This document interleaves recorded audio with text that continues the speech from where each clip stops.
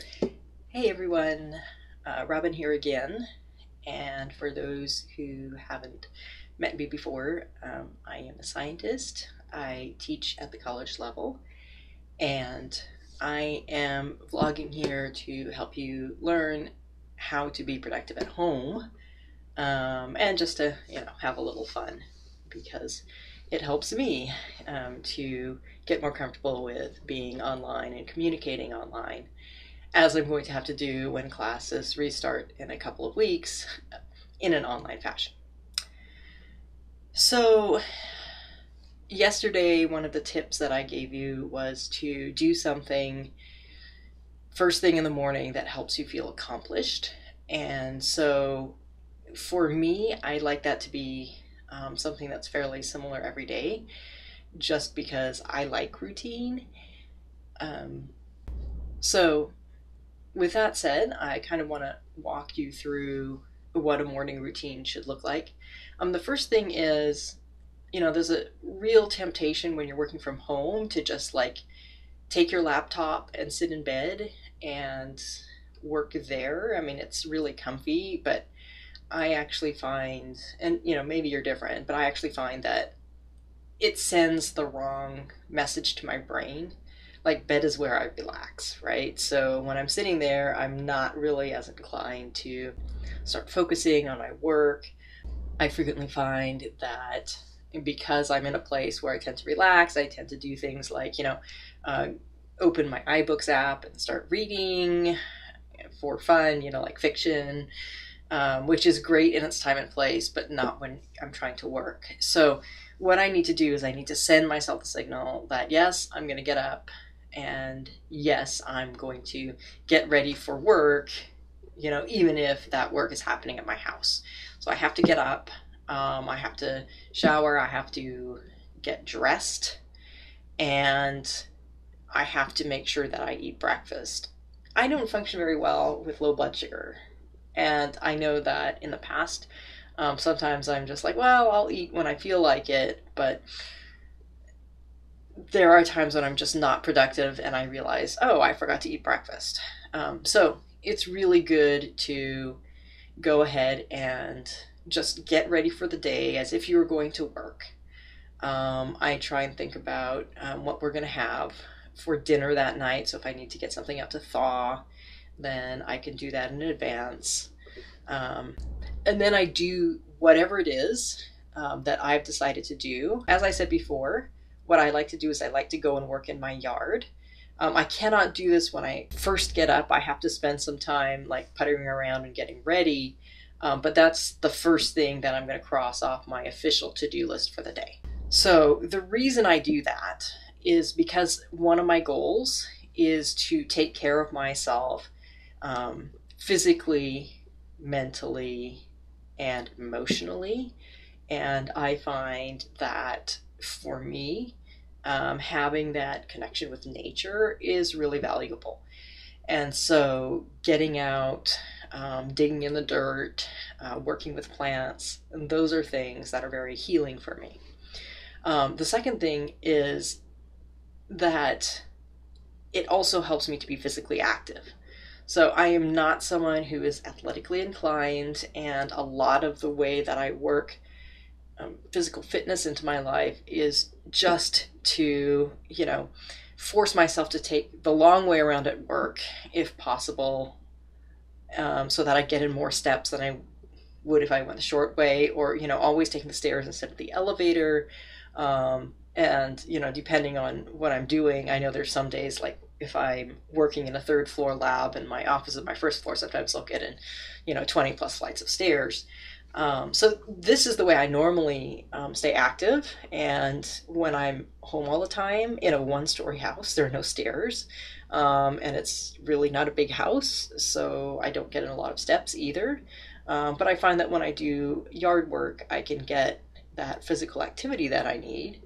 Um, in a way that also um, helps with my mental and emotional health.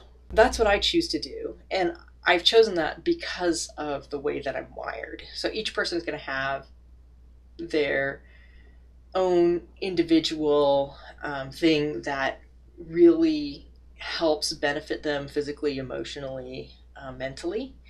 And, you know, you get to find out for yourself what that is. It may take some experimentation. So today was a little different. Um, today, I did not go out and work in the yard first. I went into work because I realized I'd left some stuff there that I need to be productive at home.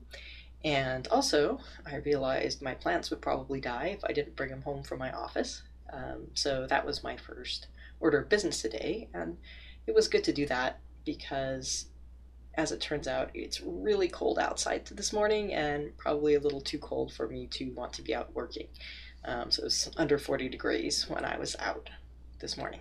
Anyway, I am just now getting ready to go out in the yard and I'll show you around and show you what I'm working on and I'll talk about why I'm working on that. So this is my backyard um, where I've been doing most of my work. It is just barely starting to be spring here in Washington so you can see my plum tree is in full bloom. My cherry tree is just really starting to bud out. It's kind of a late bloomer. Um, and there are my chickens, which is my first order of business for the day. So I'm going to go take care. I got this uh, bag of compost mix that I got at the uh, feed store yesterday. I'm hopefully going to be using that today. Um, but I'm going to. Oh, I can see I've got some vegetable scraps for them, um, some spinach that was starting to go soggy. I'm gonna refill their feed, and then I'm gonna refill their water, which is empty right now. So now that I've uh, taken care of the chickens, um, let's talk about what's going on over here and what I was working on yesterday and what I'll be doing today. Uh, this is my raised bed. Someday I hope to have a lot of them, um, but um, this particular one cost me enough that you know I'm gonna hold off and just do a lot more uh, in-ground gardening this year. I just don't have the money to make a whole bunch of these. This is a sub-irrigated planter box here, uh, so you can see there's a little um, pipe here and I just put the water in there and there's a reservoir underneath. I have some pictures somewhere I can dig up maybe and show you how I made that. Um, but this box right now has my cool season plants. Um, I went out to the hardware store yesterday uh, to make sure that I got my starts before things close down too much because I know that they're on lockdown uh, in the Bay Area, as my sister told me. So I've got my cabbage, I've got spinach, and you'll notice I actually use starts. Normally I just start from seed, and I did plant some seeds as well. You can't see where they are. Um, but I just wanted to get a little jump start this year because um, I think it would be really good. I don't know how much we'll be able to go out and get fresh uh, veggies in the next few weeks. So I just thought the sooner we can get spinach growing, the better. And so then here I've got some lettuce. Um, right in this uh, empty area right here, I'm going to be putting some um, some peas. And so the PVC that you see here, it's got holes in the side, and I run um, twine through that. So I need to go and get my trellising system set up better again. Um, but that's that's what that's all for. And then here's what I started yesterday. Um, basically, I'm digging a new garden bed. And you could say, wow, that doesn't look like you dug very much. But the truth of the matter is this soil is so rocky um, that digging this much is really hard. So my goal is to do this six shovel widths wide. Um, and so that's going to be like a week. Um, and I'm doing kind of a modified double digging method. Uh, I cannot go deep enough um, because of all the rocks. So I am going to um, double dig down to this about a foot deep here. And then I've got the compost that I showed you earlier that I'm going to mix in with it and the some um, some raised bed soil that I got at the hardware store. Um, and that's all going to be uh, mixed in. Um, and that should give me enough depth uh, for planting what I want to plant. So you can see my cat is really excited about this trench. um, so I discovered that, you know, I'm really out of shape. And so, you know, I would love to be able to say I could dig this all in one day, but that really exhausted me. Um, and I'm trying to pace myself because if I get too tired, it's really hard for me to work later. So my goal is to put in just enough labor that I feel um, I've put in some good physical exertion for the day, um, got my heart going because I know that if I do that early on, it helps me to focus better. But I also know that if I do too much, it can actually be um, not so good because then I get too tired to focus and I hurt everywhere, which was kind of what happened yesterday. I got some stuff done, but not as much as I wanted to. Trying to find that good balance.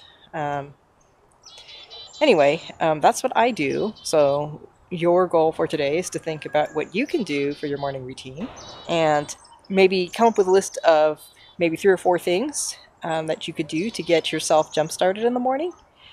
And, you know, try each one of them for a day or two and see how you like them. Um, maybe figure out what works best for you. So, I hope you enjoy this little glimpse of my life. Um, I hope that it gives you some ideas about how you can set up a good morning routine. And tomorrow, I think I will talk about um, how I am trying to structure my work life.